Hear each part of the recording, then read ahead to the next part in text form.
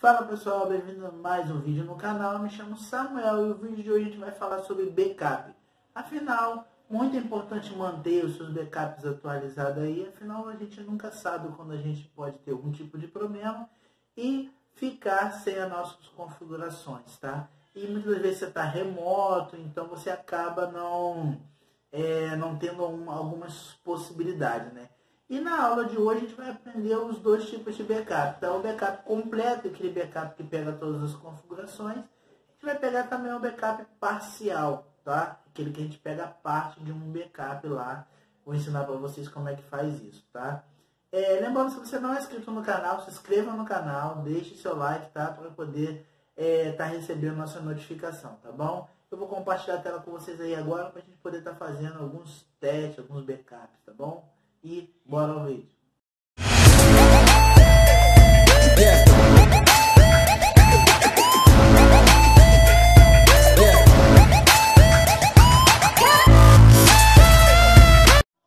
Fala pessoal, então vamos mais esse vídeo aqui do backup. Afinal, é o cara que te deixa na mão quando você mais precisa.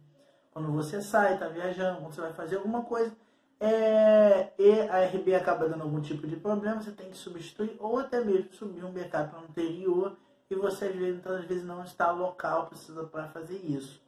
É, ou então você precisa mandar alguém lá no POP e esse alguém não tem o mínimo de, do que fazer lá. Então se você tem um backup é muito mais fácil. Afinal, nos dias de hoje, é, ninguém, acredito eu, que seria tá, tá muito obsoleto, né? A pessoa sair com algo é, de fora da sua base, de fora do seu escritório, para ir configurar em campo. Afinal, dá muito mais trabalho, né? O ideal será que você bota ele em bancada, já faça todos os testes dele em bancada e depois dele configurado em bancada, já pré-configurado, você faça os backups, faça a devida atualização, tudo dentro da, da, do seu próprio, da sua própria empresa, né? E quando o seu técnico vai lá no, no campo colocar, seja rádio, seja seus microchips, você já tem um backup do que está lá, é, além de estar tá tudo pré-configurado, tá?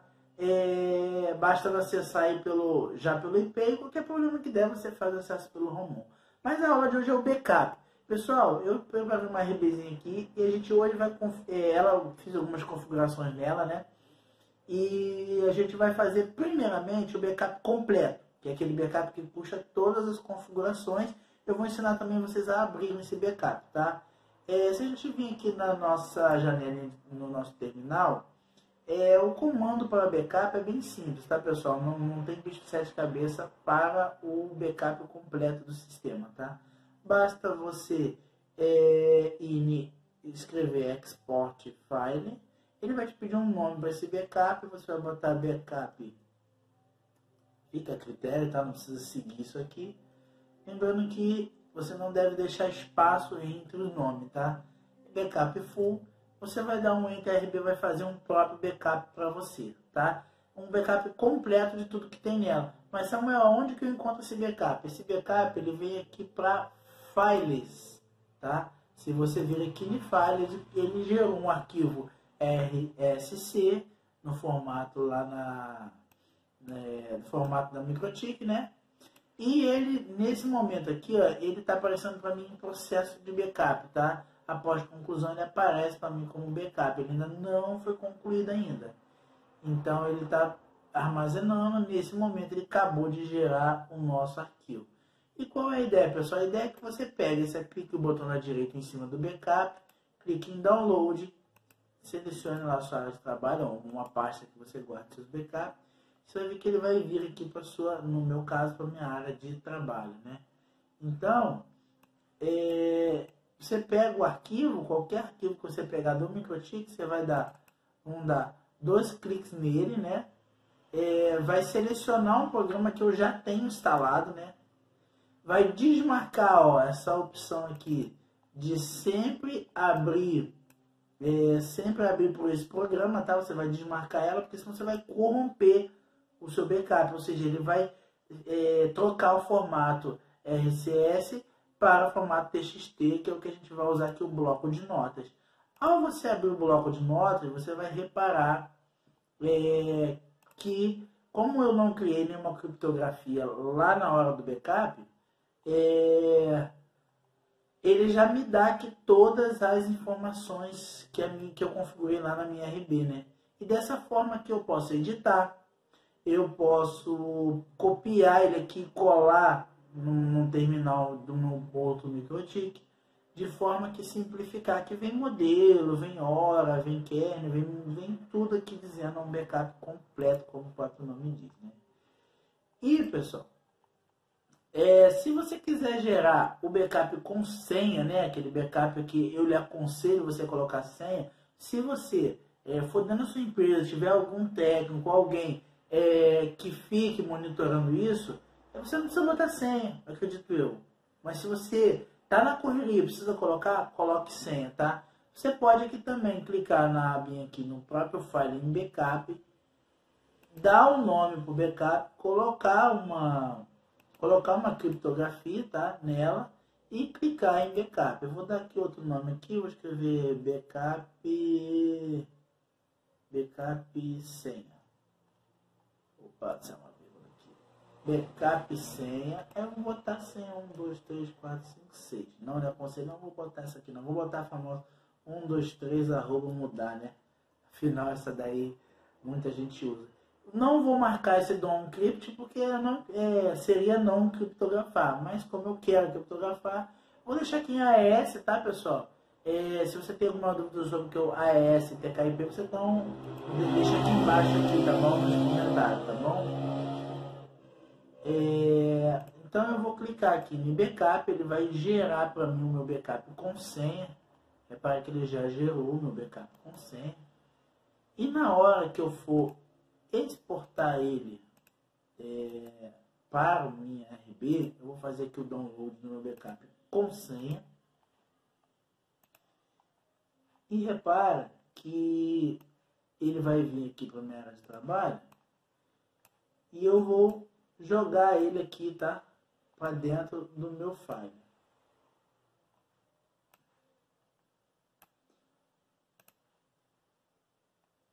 E automaticamente, no caso como eu já tenho ele aqui, deixa eu dar um delete nele aqui, deixa eu dar um delete nesse também.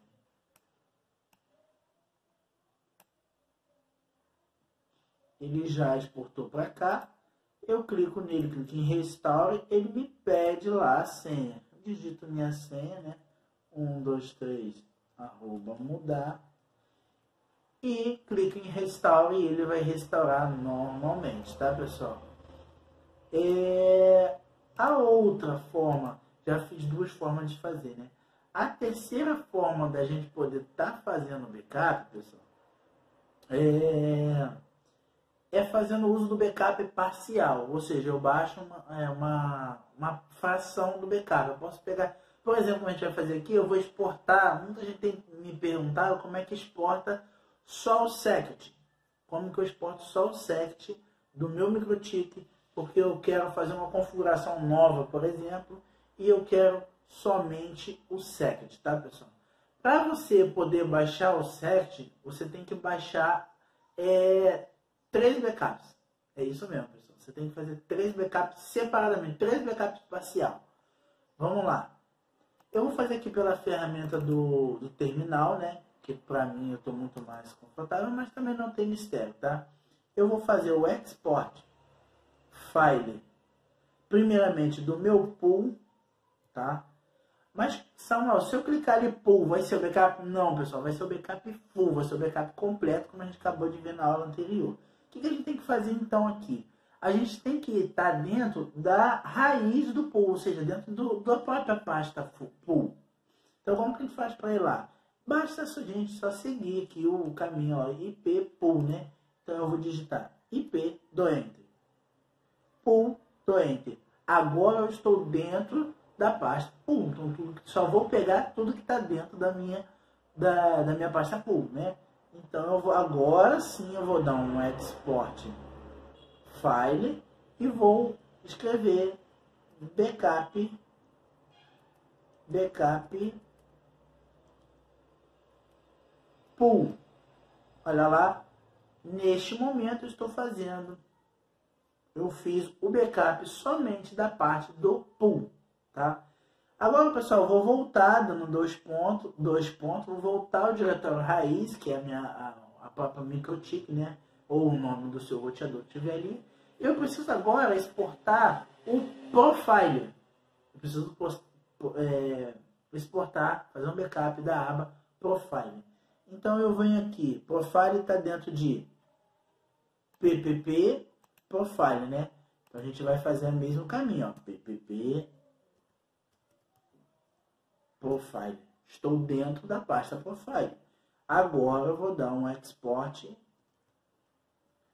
file backup profile. É... Profile. Beleza, agora eu tenho um backup do profile. Agora sim eu posso fazer o exportar apenas o sect, né? O sect ele está dentro de ppp sect, né? Então eu só vou dar um voltar aqui, ó, dois pontos. Voltei um diretório. Então agora estou dentro do escrevo sect, estou dentro da aba sect. Então eu vou dar um export file backup underline sect. Olha lá, eu fiz, do dois pontos, dois pontos, estou no diretório raiz novamente. Então, pessoal, o que, que eu fiz? Eu fiz três arquivos. A gente vem aqui nos files, eu fiz três arquivos. Ó, eu fiz o pool, eu fiz o profile e eu fiz o set. Eu vou excluir aqui o pool que eu tenho já cadastrado aqui para a gente poder estar tá importando ele, ó, o pool. Vou exportar aqui, ó, como se fosse, vou excluir o profile e vou excluir os meus, os meus sets, de forma que eu tenho que importar apenas o set. O que, que eu faço? Eu pego o pool, exporto o pool, depois exporto o profile, depois exporto o set, depois eu vou lá e deleto o profile e vou lá e deleto lá o pool. Então dessa forma eu fico só com a parte que eu quero, tá? Então, eu já tenho aqui o, o, os backups, eu vou vir aqui em File, vou fazer o download dos três para minha área de trabalho, do File, dos três minha área de trabalho, Lembrando, pessoal, que eu tenho que seguir essa ordem na hora de eu exportar. Mas Samuel, como você falou e agora até agora a gente não conseguiu exportar lá. É, eu não quero exportar lá pela pelo export lá, né? Jogar para dentro e exportar. Beleza, então vamos fazer diferente aqui, ó. Uma vez gerado, pessoal, você consegue pegar todos os três. Cadê o outro? Tá aqui. Eu vou pegar aqui e vou abrir o primeiro pool, ó selecionar um programa já instalado, desmarco a opção aqui para abrir sempre nesse arquivo, marco o bloco de notas e abro. E abro aqui o, o meu TXT. Aí eu pego aqui ó, só o que eu quero, só do meu IPPool, copio ele, abro meu new terminal e colo ele aqui. Ó. Repara que ficou tudo verdinho. Esse essa faixa aqui, ó, ele diz que já existe aqui, né? Então, se a gente for olhar lá, eu só exportei o meu pool mesmo, que a outra partição já, a outra configuração já estava aqui, né? Agora, pessoal, vamos pegar, vou posso fechar, vou pegar a parte de profile, ó. Vou profile, lembrando que tem que fazer sempre para cada um deles, ó. Vou abrir aqui, vou desmarcar aqui e vou clicar aqui em bloco de notas estou exportando apenas o. Venho aqui copio somente a parte do PPP. Abro meu microtik. No meu new terminal mesmo, eu retorno ao diretório raiz e paste. Colo lá minhas configurações. Se você reparar, antes eu tinha excluído aqui, ó, retornou aqui. Agora eu vou fazer a da parte do secret, né? Então tem aqui, eu vou selecionar aqui um, um programa existente, ou desmarcar essa opção, sempre tem que desmarcar, vou clicar em OK e vou estar aqui o meu secret. Ah, mas se eu pegar só essa parte aqui e colocar lá, vai funcionar? Não vai funcionar, é, pois ele precisa do profile que, no qual ele foi gerado. Pode ser aquele profile default, mas ele precisa daquele profile default. Né? Vou copiar aqui meus clientes, ó, repara que não tem nada. Eu vou abrir aqui meu terminal e vou colar ele aqui novamente. Ao colar, repare que retornou os meus clientes. Agora eu posso vir aqui simplesmente deletá-lo e vir aqui no IP pool, no pool de clientes e deletar e ver que meu sect continua ativo, tá pessoal?